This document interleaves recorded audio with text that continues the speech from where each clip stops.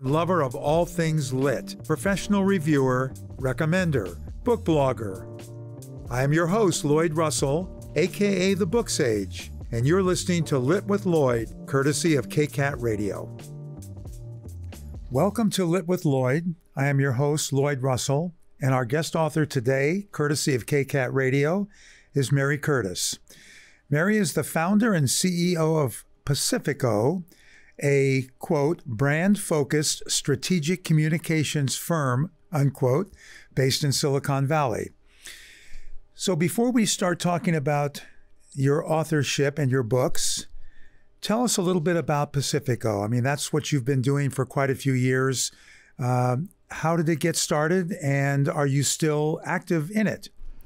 Well, Lloyd, I started the company at the ripe old age of 24. And I did not know what I did not know, which is a very good thing to do when you're that young and you're starting a company.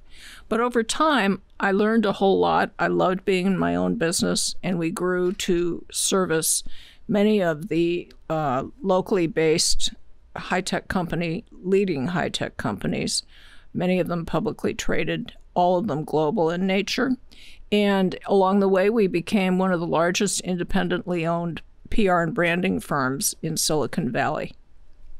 That's great. Is it still active?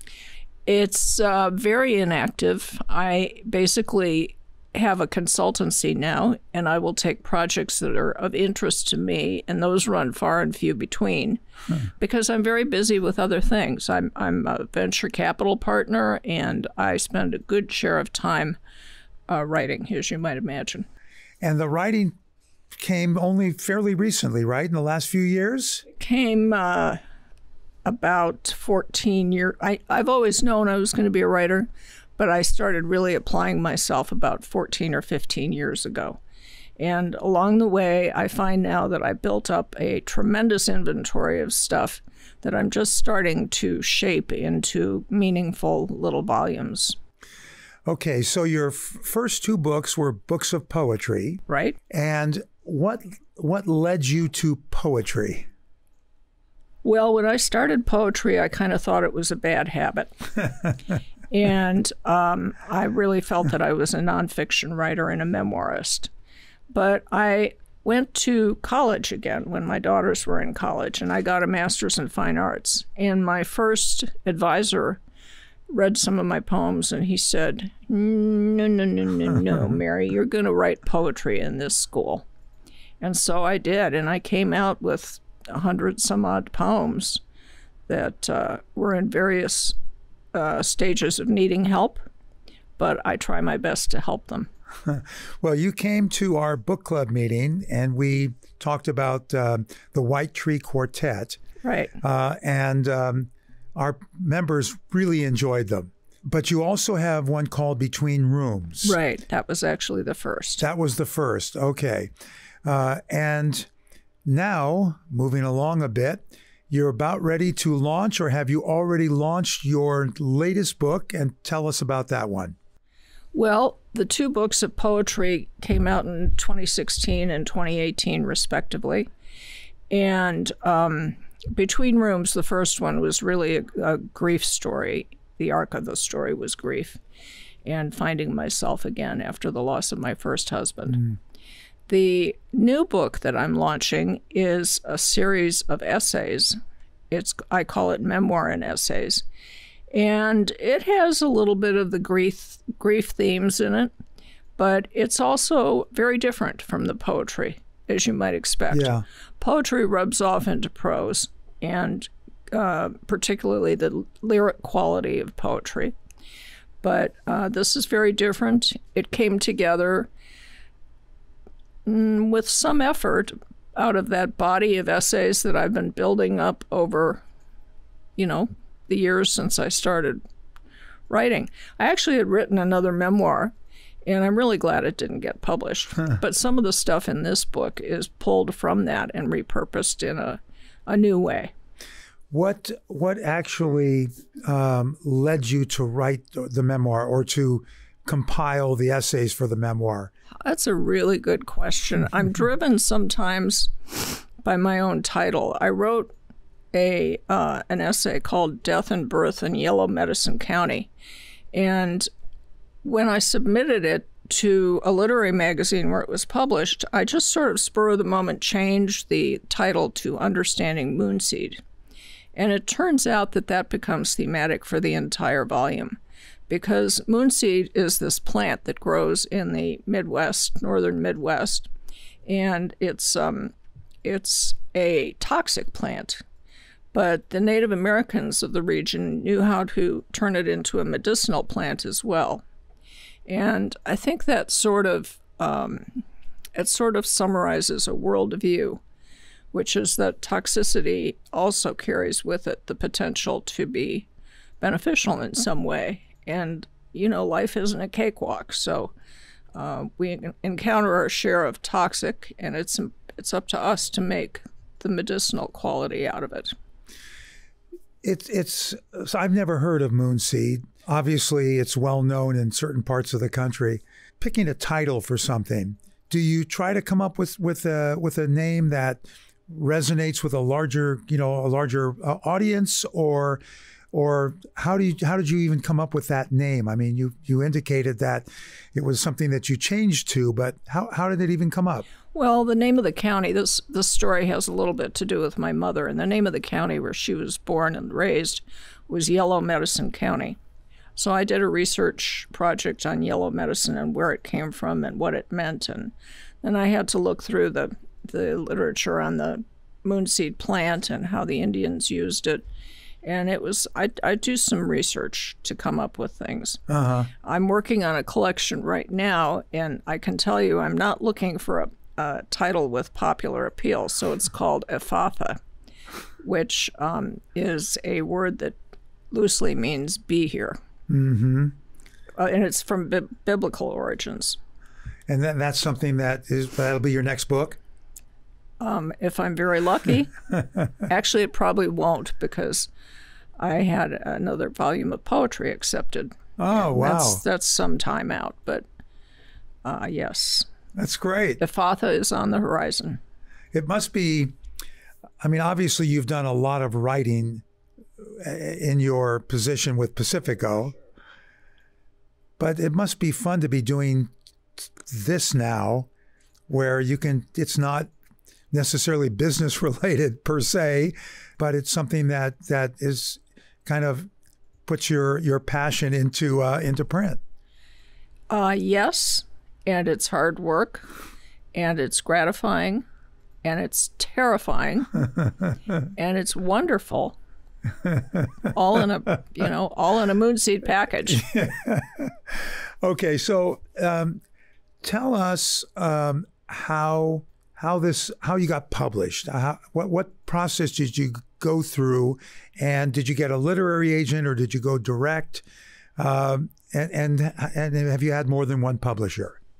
Yes, I've had more than one publisher. The same publisher uh, published both books of poetry, and he's based in that firm is based in Cincinnati. They claim to be the world's largest publisher of poetry. And um, at one point, last year, I had probably 170 submissions out with my manuscript. And um, I providentially got introduced to this publisher who said, Yeah, I'll take a look. And then he said, Yeah, I think this is going to work in our catalog. So, you know, it's um, it's submission, it's people, it's everything that everything else is in business. It's you know how you how diligent you are, who you know and get introduced to, and how you follow up. Yeah. Your next book, you're talking about another book of essays or and another book of poetry. Mm-hmm.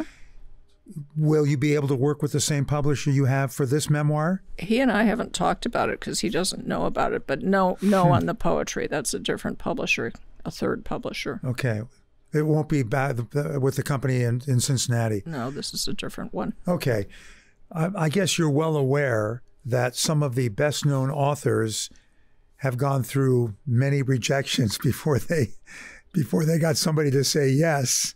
Uh, there's some great stories out there, but uh, uh, it sounds like you've you've really got a, a great publisher now, and and uh, hopefully maybe that'll work with your next book of essays. You know, fingers crossed. I'm so honored, though, right now in this moment, to be published by Blaze BlazeVox Press. It's been a wonderful process dealing with a, a wonderful human being who is a communicator.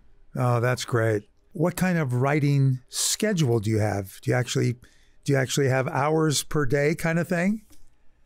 Well, I used to have a very defined schedule. I'd write first thing in the morning, and um, I'm married now, so you know how you know how it is. Lloyd spouses kind of mix things up in a wonderful way. So now I find myself writing at night, and I'm I'm a catch as catch can writer too. I mean, if I get an idea, I have to get it down somewhere, and so I have all these notebooks with all these notes and thoughts, and every so often I'll go through them and mine them for what was I thinking that would be useful. It's an interesting process. Sometimes I'm writing all day, every day, uh-huh. and sometimes I'm not. okay. The the current one, the new one, when does it hit the market, and and how? What forms will it have? Uh, it will hit the market on January second in book form. Uh-huh. And I do believe that there is the possibility of having it take another form. And I just don't remember what the contract says, quite frankly. but in the meantime, before January 2nd, let it be noted that I'm holding up a beautiful postcard of the cover of the book. I am passing out postcards with a handy little QR code so people can pre order this book. Great. And um, I also am active on social media and I post a link to the publisher's website, really hoping to, to direct a lot of traffic to the publisher's website before it goes out on Amazon and, you know, he gets less profit out of it. Yeah. I, I'm a big fan of the publisher. So you write your, your, your poems, you write your essays. Do you have anybody or a group of people that will read some some of your early writings and kind of give you some feedback? I used to have a writing group, and unfortunately, one person became very very high up in the uh, Stanford University administration in the postdoc program. And my other wonderful writing friend moved to Kinderhook, New York, which is not very convenient. but the answer is yes. I you can't write in a vacuum. You have to have um, you have to understand how how other people are interpreting what you write, and it's good to have mentors. And so I have made a point of of making sure that I had a couple of really solid mentors. I mean that makes perfect sense. Uh, do you have editors or an editor that goes over it for you? No, not really. Um, in in the world in which I operate, it's not like Simon and Schuster where you have a whole cast of characters yeah. who oversee every comma. It's um, it's more like when I knew this was going to be published, I hired one of my former employees who's a very good proofreader, and paid her to go through it, and uh-huh. she she did a wonderful job. Her name is Adrienne Mock, and she's in San Diego. Very easy to work with, and. Uh, aside from that, no. You know, I can't tell you how many times I've read this book backwards and forwards looking for stuff, and you know, it's um, it's a responsibility. So your publisher basically just accepted it as is, did not have anybody on his or her staff to to no. look it over anything. No. Okay. Not that I'm aware of. Yeah, yeah. Okay. All right. That's great. You're obviously very much into poetry and you're very much into the memoir scene. Do you see yourself at any point writing in a different kind of genre? Oh my goodness. I'm so sorry you asked that. Here's my confession. I have always said to myself, real writers write fiction. And I did try a fiction story and I turned it in when I was in my MFA program. And my advisor said, Well, this looks like a pile of notes for something you plan to write. so that wasn't the most encouraging thing. But I do, I do plan to plan some fiction. One of the things I do in my poetry is I'm very taken with the persona poem. And the persona poem is basically where you become someone else and you narrate a story from that person's point of view. I recently wrote one that's a prose poem called White People in Buses. And in writing that poem, I had to, I was working from a postcard from China that I'd picked up when I was there. And I it was a postcard of a duck pond keeper and I had to put myself in the position of narrating as if I were the duck pond keeper, which, if you think about it, that's really conjecture and fiction. I mean, I have no idea what the guy's name was, but I named him. I have no idea what his family was, but I gave him a family. I have no idea whether he lived in, in town or in the pond or, or near the pond, but I put him in town. So that's pure fiction. Okay, all right. That sounds great. I could see you definitely writing fiction. Uh, I, I, obviously haven't read the new one. Do the essays basically cover a lot of your work um, history? Almost not at all. Almost not at all. Okay, so have you thought of a nonfiction, uh, I guess, another type of memoir that talks about your experiences with Pacifico? the, the, the luminaries, the local luminaries or international luminaries that you've met and worked with, some stories about those kinds of experiences? Are you asking me to write a tell all? that's what it sounds like, doesn't it? Yes. I guess no matter what words I use to describe it, I guess that's what it would be. Uh, is that something that you have considered? You know, not really. I mean, I I did a presentation at my Rotary Club for a half hour, 20 minute, half hour period of time talking about my career and my background. And uh, there's a little bit of that in here because it's it's part of who I am and it's I mean, if you think about it, I've really lived through a perfectly wonderful period in tech, technology history. Yeah. From 1977 until now. Yeah. And um, dealt with a lot of evolving technologies that have changed absolutely everything about the world. Uh huh. And I suppose I could do it, but there are just other things that strike me as being more of the kind of literary writing that I want to do. Mm-hmm. So, you know, maybe when I have a big rainy day someday, but it's not it's not on the list right now. All right. Well, it seems like once you do your third book of poetry, your second book of memoir essays. Oh, I've got poems behind those. Oh, there'll be more than three books of poetry. Who knows? You never know. so after you do poetry and memoirs and fiction, fiction. then maybe it'll be time to do your tell all. Uh-huh. we'll keep in touch on that. uh, okay, so you've owned an, a, a PR firm for a long time. Have you taken some of the marketing strategies you used at Pacifico and applied them to marketing your books?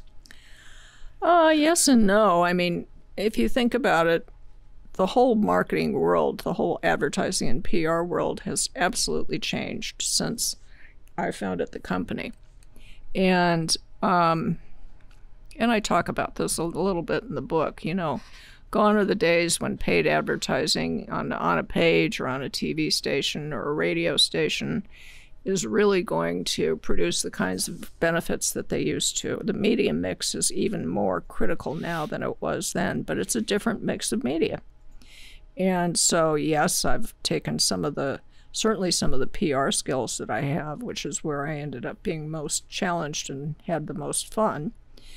Um, I've taken some of those and I've taken my basic knowledge of people in the community, like yourself, and uh, made contact with absolutely everybody I know. but I don't, I'm not running a very cohesive campaign like that for myself. I tend to rely on uh, social media quite a bit, obviously, uh, Instagram, Twitter, and Facebook, um, and email. Good old email, because I have a lot of friends. Do so, you have an email email list that you I send do. out? In, I uh, do. I'm married to a spreadsheet jockey, so he's been very helpful with that. Am I on the list? I don't believe I am. Yeah, of course you are. All right. Okay. I haven't sent out much yet. Okay, I fine. I had to get the publication date, which, by the way, is January 2. January 2nd. Okay, we'll make sure to to uh, emphasize that. Yep. Do you find it more difficult to promote your own books as opposed to promoting other companies, you know, from your uh, from your business? Oh, absolutely. of course. I'm just like every other shoemaker's, you know, dysfunctional problem. But I do it. I mean, I I do it, and I'm I'm actively thinking about it all the time Yeah, now. yeah. I guess it's it it must feel like a totally different direction, to turning inward rather than outward. Well, it's not chemical vapor deposition systems used in the manufacture of semiconductor products, that's for sure. And it's a different media set. Yeah, yeah. But but based on all of your connections through the years, I would imagine that that a lot of people that know a lot of people will be getting your notices. That's what I'm hoping.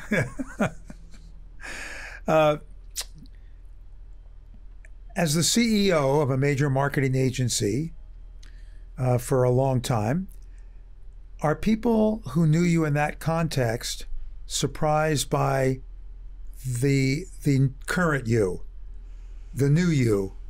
Um, well, I'll tell you, I don't have a good litmus on the clients, but what I can tell you is that I'm in, in contact with quite a few of my former employees, including the woman who did the proofreading project for me. And she said to me, Mary, I never knew who you were, and this has been really eye opening. She's very complimentary, but it's quite clear that my employees who thought of me as somewhat of a hard ass, I think, which, you know, that's so off base. I'm a mush bucket. But I guess I concealed it really well. I think there I think the employee base is probably pretty surprised. Uh huh. Well, I can tell you that since my son worked for you for three years, that he had only good things to say about you. Shocking. Shocking. But true. That's sweet. Yeah, that's great. Well, secretly, he was one of my favorites. Getting into bookstores, is anybody going to try to do that? Uh, if anybody is trying to do it, it's going to be me trying to do it. It will continue to be for sale on the publisher's website, and um, there are a few bookstores that I target for just good old Mary making a pitch. Hey, can you shelve my books?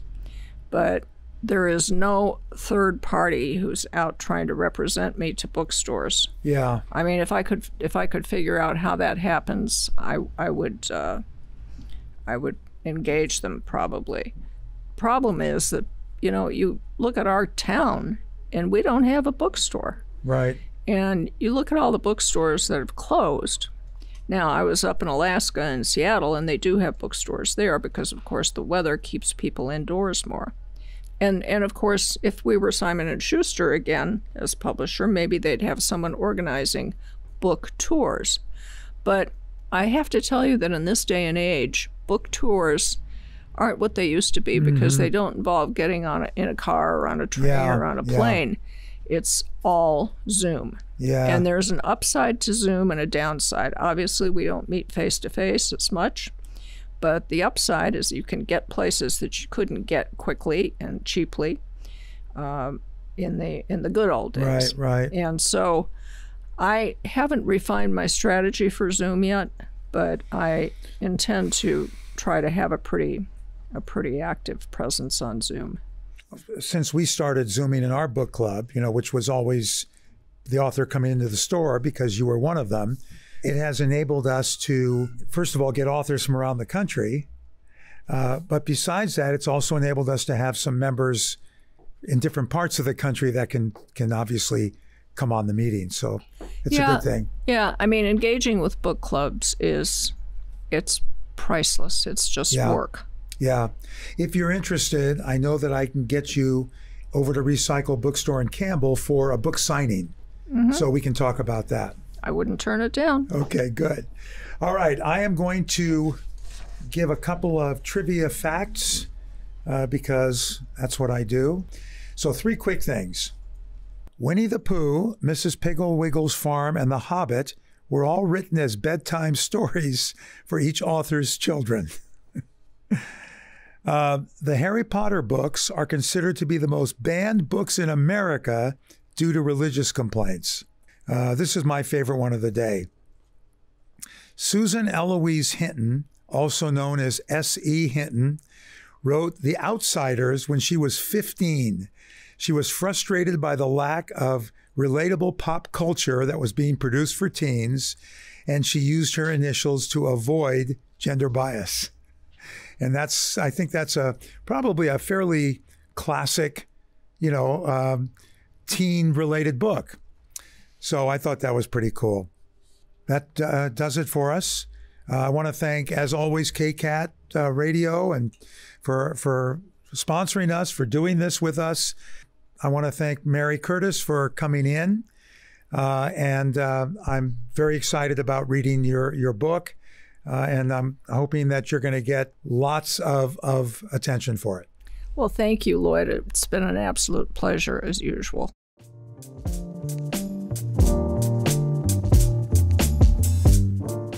You just heard Lit with Lloyd here on KCAT Radio.